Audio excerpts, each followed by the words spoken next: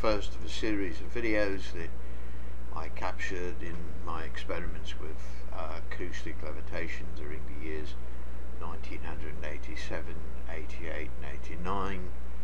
Um, this was in conjunction with previous work that NASA did on microgravity experiments here on Earth to simulate control of metallic droplets, molten droplets uh, in the space shuttle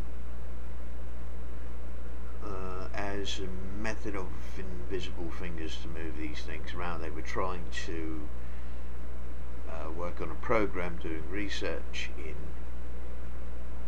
acoustic levitation as a means of controlling potential manufacturing processes in near zero gravity, microgravity as they like to refer to it as.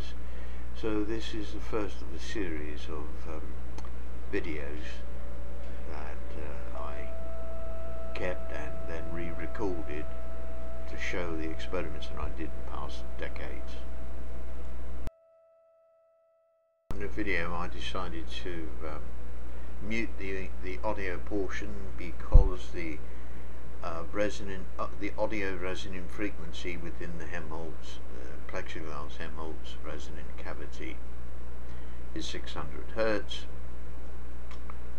And a lot of people in the earlier version commented that it was an irritating sound. So trying to make it more pleasant for viewing considering though that the objects are being levitated by way of resonant acoustic pressure waves. In addition, by adjusting the frequency, phase and amplitude of any or all of the three axes X, Y and Z, one has control over the movement of the objects being levitated relative to their position vertically, horizontally and rotationally along the uh, z-axis.